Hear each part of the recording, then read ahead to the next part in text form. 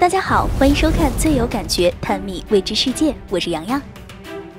人类作为三维世界的生物，一直受制于三维世界的环境，可是科学家却一直在探索宇宙有没有存在更高维度的时空。在九十年代，著名科学家霍金提出了宇宙由十一维度的空间组成的模型，但目前人类只能感知到三个空间维度和一个时间维度，另外的七维度受限于人脑结构，人类是感知不出来的。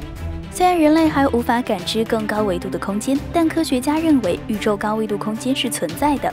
否则无法解释宇宙的很多结构和现象。在九零年，科学家提出了一种 M 理论，这个理论被学界称为物理的终极理论，其结合了五种超弦理论和十一维空间的超引力理论，是一次全新的理论革命。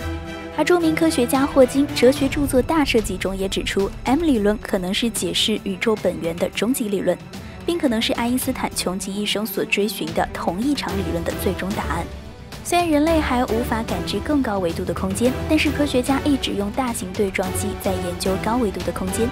有研究者认为，高维度的空间正折叠在微小的粒子之中，那或许是一个极其神秘的世界。在科幻小说《三体》一书中曾经提到，用质子展开来不同的高维度来制作超级计算机，而质子隐藏的内部或可能存在神秘的未知智慧生命。